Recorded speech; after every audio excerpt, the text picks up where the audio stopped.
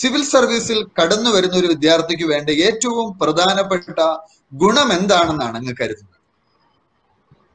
ഏറ്റവും പ്രധാനപ്പെട്ട ഗുണം വേണ്ടത് പെർസിവറൻസ് ആണ്. ക്ഷമയോടുകൂടി പഠിക്കുക എന്നുള്ളതാണ്.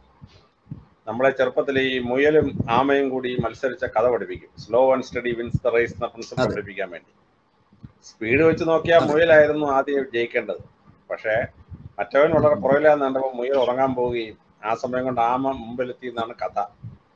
അപ്പോൾ ഈ ഞാൻ കണ്ടിട്ടുള്ള കുട്ടികളിൽ വെച്ച് ഭയങ്കര ബ്രില്യന്റ് ആയ ചില കുട്ടികൾ. പഠിച്ചു തുടങ്ങും. രണ്ടു കൊല്ലം. കഴിയുമ്പോൾ എനിക്ക് വേണ്ടതാറേ എന്ന് പറഞ്ഞ് കളഞ്ഞിട്ടു. പരീക്ഷ ഒരു തവണയിൽ എഴുതിയാൽ ജയിക്കുമെന്ന് ഞാൻ വിചാരിച്ച പല കുട്ടികളും. രജിസ്റ്റർ ചെയ്യും. പക്ഷെ പരീക്ഷ എഴുതാതെ സെലക്ട് ആണ് അത്. പിന്നെ വർഷങ്ങൾക്ക് ശേഷം വന്നിട്ട് അയ്യോ സാറ് സാറ് നിർബന്ധിച്ചപ്പോൾ ഞാൻ എഴുതേണ്ടതായിരുന്നു സാറേ. എനിക്ക് ജീവിതത്തിൽ വല്ലൊന്നും ആവാൻ പറ്റിയില്ല എന്ന് പറഞ്ഞ്. തിരിച്ചു വരും. അപ്പൊ ഞാൻ ആ കുട്ടികളോട് പറയും. ഇംഗ്ലീഷിലെ പ്രഗത്ഭനായ. കവി പറഞ്ഞ ഒരു വാചകമുണ്ട്. Of all the words of pen and tongue the saddest are these it might have been. എന്ന്. അപ്പം. ചില കുട്ടികൾക്കാണെങ്കിൽ ജീവിതത്തിൽ വലിയ സാഹചര്യം ഉണ്ടാവും അപ്പനും അമ്മയും വലിയ ജോലി ജോലിയിലേക്കാണ് സാമ്പത്തിക ശേഷിയുണ്ട് എവിടെ വേണേലും പോയി പഠിക്കാൻ. പറ്റും. പക്ഷെ അവരെ അടിച്ചു കലക്കി അടിപൊളി ജീവിതം നയിച്ചങ്ങ് പോകും. ഒന്നും പരീക്ഷ എഴുതത്തില്ല ഒന്നും എത്തത്തില്ല എന്നാൽ വളരെ ഭംഗിയായിട്ട് ലക്ഷ്യമത് ഇട്ട ശേഷം അതിലേക്ക് സ്ഥിരോത്സാഹത്തോടു കൂടി എല്ലാ ദിവസവും രണ്ട് മണിക്കൂർ മാറ്റി വെച്ച് പഠിച്ചുകൊണ്ടിരിക്കുന്നതിന് എക്സസ് ആയിട്ട് രണ്ട് മണിക്കൂർ ഇതിനു വേണ്ടി തന്നെ ചെലവഴിച്ച് പഠിച്ച് മുമ്പോട്ട് പോകുന്ന കുട്ടി ആ കുട്ടിക്ക് അൾട്ടിമേറ്റ്ലി ഇത് ജയിക്കാൻ പറ്റും. ഭംഗിയായിട്ട് ജയിക്കാൻ പറ്റും. സിലബസ് കവർ ചെയ്ത് പെർ ഡേ ഒരു ടു അവേഴ്സ് എക്സ്ട്രാ വർക്ക് ചെയ്ത് പോകുന്ന കുട്ടിക്ക്. പെർസിവറൻസ് വളരെ വളരെ പ്രധാനപ്പെട്ട ഒന്നാണ്. രണ്ടാമത് ക്രിട്ടിക്കൽ. അനാലിസിസ് ആണ്. അതായത് ഒരു ന്യൂസ് കണ്ടു. ന്യൂസ് കണ്ടു കഴിഞ്ഞാൽ ആ. ന്യൂസിൽ പറയുന്ന സംഗതി വസ്തുത ശരിയാണോ? അതോ ഇത് പ്രൊപ്പകണ്ട മെറ്റീരിയൽ ആണോ? എന്ന് ചിന്തിക്കുന്ന ഒരു കുട്ടി ആ വിവരത്തെ പറ്റി വളരെ കൃത്യമായിട്ട് ആലോചിച്ച ശേഷം ഇത് ശരിയാണ് മറ്റേത് പ്രൊപ്പകണ്ട ആണെന്ന് വേർതിരിച്ചറിയാൻ പറ്റുന്ന ഒരു സാഹചര്യത്തിൽ എത്തിക്കഴിഞ്ഞാൽ ആ കുട്ടിക്ക് പരീക്ഷ ജയിക്കുന്ന കാര്യം വളരെ വളരെ എളുപ്പമാണ്. മൂന്നാമത്തെ ക്ലാരിറ്റി ഓഫ് തിങ്കിങ് എന്ന് പറയുന്നതാണ്.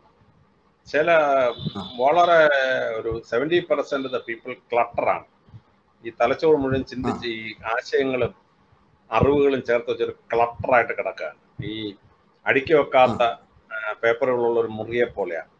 വേസ്റ്റ് ബാസ്കറ്റ് ഡിൻ പോലെ അവന്റെ തലച്ചോറിനകത്ത് ഒരുപാട് അറിവുണ്ട്. പക്ഷെ അവന് അത് പ്രോസസ് ചെയ്യാൻ പറ്റിയല്ല.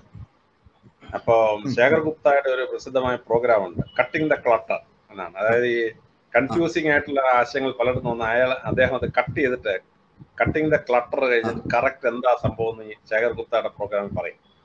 ഞാൻ എല്ലാ ആഴ്ചയും ഒരിക്കൽ പോലും വിടാതെ കാണുന്ന ഒരു പ്രോഗ്രാമാണ് ഈ കട്ടിംഗ് ദ ക്ലട്ടർ കാരണം ആ ക്ലാരിറ്റി ഓഫ് ദ ബ്രെയിൻ വളരെ അത്യാവശ്യം ഐ എ എസ് പരീക്ഷയ്ക്ക് not more than two hundred words എന്ന് പറഞ്ഞൊരു ചോദ്യം ഉത്തരം എഴുതാൻ പറഞ്ഞാൽ ആ വിശാലമായ ഏരിയയിൽ നിന്ന് അവൻ അറിയാവുന്ന മുഴുവൻ പരീക്ഷ പോലെ എഴുതി വെക്കാൻ പറ്റിയില്ല.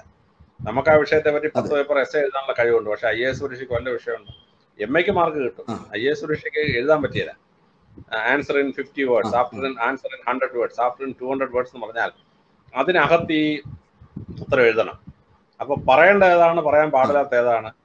പിന്നെ ഒരു എക്സ്ട്രീം വ്യൂ എഴുതി കഴിഞ്ഞാൽ ഈ പേപ്പർ നോക്കുന്ന എക്സാമിനർ അതിന്റെ എതിർപക്ഷക്കാരനാണെങ്കിൽ മാർക്ക് പോകും അപ്പൊ ബാലൻസ്ഡ് ആയിട്ട് ക്ലാരിറ്റിയോട് കൂടി ഉത്തരം എഴുതാം. ഈ കഴിവ് ചുമ്മാ കിട്ടുന്നതല്ല.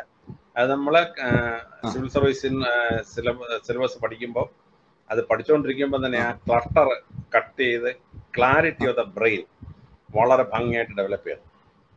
അത് ഡെവലപ്പ് ചെയ്യുന്ന കുട്ടിക്ക് മാത്രമേ ഐ എസ് പാസ്സാകാൻ പറ്റുള്ളൂ അല്ലാതെ അറിവുണ്ടായിട്ടൊന്നും കാര്യമില്ല. ആ സമ്മറൈസിങ് പിന്നെ അത് ക്ലാരിറ്റിയോടുകൂടി അടുക്കി നമ്പർ ഓഫ് വേർഡ്സ് ലിമിറ്റ് ചെയ്ത് എഴുതി പഠിക്കണം.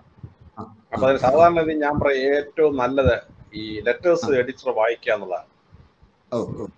പത്രത്തിൽ ഒരാൾക്ക് വികാരം കൂടിക്കഴിഞ്ഞ് ലെറ്റേഴ്സ് എഡിറ്റർ നമ്മളാരും ലെറ്റേഴ്സ് എഡിറ്റർ എഴുതാറില്ല. പക്ഷെ അവനെ ആരോടെങ്കിലും പറയണം എന്നുള്ള മനസ്സിനകത്ത് തള്ളി തള്ളി അവൻ അങ്ങോട്ട് എഴുത്തെഴുതുകയാണ് അവൻ പത്ത് വഴി എഴുതിയാലേ പത്രം പബ്ലിഷ് ചെയ്യല. രണ്ട് വാചകത്തിൽ എഴുതിയ അവൻ അവന്റെ ആശയം പ്രകടിപ്പിക്കാനും പറ്റിയല്ല അപ്പൊ അവൻ ചെയ്യുന്നതെന്ന് വെച്ചാൽ ഒരു പതിനഞ്ച് ഇരുപത് സെന്റൻസുകൾക്കുള്ളിൽ അവന് പറയാനുള്ള വികാരം മുഴുവൻ സമ്മറൈസ് ചെയ്ത് അവൻ ലെറ്റേഴ്സ് എഡിറ്റർ എഴുതും. ഈ ലെറ്റേഴ്സ് എഡിറ്റർ ഒരു കാരണവശാലും സിവിൽ സർവീസ് സ്റ്റുഡന്റ് മിസ് ചെയ്യരുത്. കാരണം അവൻ റിയൽ ഐ എസ് പരീക്ഷയ്ക്ക് ഈ ലെറ്റേഴ്സ് എഡിറ്റർ എഴുതുന്ന ഒരു കഴിവാണ് ആവശ്യം. അതുപോലെ എഡിറ്റോറിയൽ പേജിന്റെ വലതുവശത്ത് ആയിട്ട് ആ പ്രിസൈസ് ആയിട്ട് എഴുതണം അല്ലേ പ്രിസൈസ് ആയിട്ട് ക്ലാരിറ്റിയോട് കൂടി എഴുതണം. ആ ആ ആർട്ടിക്കിൾ വായിച്ചോണം. ഒരു രംഗത്തെ പണ്ഡിതനായ ഒരു മനുഷ്യൻ ആ. മേഖലയെ സമ്മറൈസ് ചെയ്ത് വളരെ പണ്ഡിതോചിതമായി എഴുതുന്ന ഒരു സാധനമാണ് ആ മെയിൻ ആ മെയിൻ ആർട്ടിക്കിൾ വായിക്കും. അപ്പൊ അങ്ങനെ പ്രിപ്പയർ ചെയ്ത് പോകുന്ന ഒരു കുട്ടിക്ക് ഐ എസ് പരീക്ഷ എന്തായാലും പാസ്സാകും ഉറപ്പായിട്ടും. അപ്പോൾ അങ്ങേയുമായുള്ള ഈ ഒരു ടോക്ക് ഇത് കണ്ടുകൊണ്ടിരിക്കുന്ന ആയിരക്കണക്കിന് പതിനായിരക്കണക്കിന് ആളുകൾക്ക് വളരെയധികം പ്രയോജനപ്രദമാണ്. കാരണം ഇന്ത്യൻ സിവിൽ സർവീസ് രംഗത്തേക്ക് കടന്നു വരുവാൻ ആഗ്രഹിക്കുന്ന ഒരു വ്യക്തിക്ക് ഉപദേശം നൽകുവാൻ പറ്റുന്ന ഏറ്റവും മികച്ച വ്യക്തിത്വത്തെ തന്നെയാണ് ഇന്ന് നമ്മൾ ഈ അബ്സല്യൂട്ട് സക്സസ് ടോക്കിൽ അതിഥിയായി ലഭിച്ചത് എന്നത് എന്റെ സന്തോഷം ഇരട്ടിപ്പിക്കുന്നു. ഈ പരിപാടിയിലേക്ക് കടന്നു വന്നതിനും അതിഥിയായി എത്തിയതിനും ഹൃദയത്തിന്റെ ഭാഷയിൽ അങ്ങയോടുള്ള നന്ദി അറിയിക്കുകയും ചെയ്യുന്നു. ഈ പരിപാടിയിലേക്ക് കടന്നു വന്നതിന് ഒരുപാട് നന്ദി നമസ്കാരം.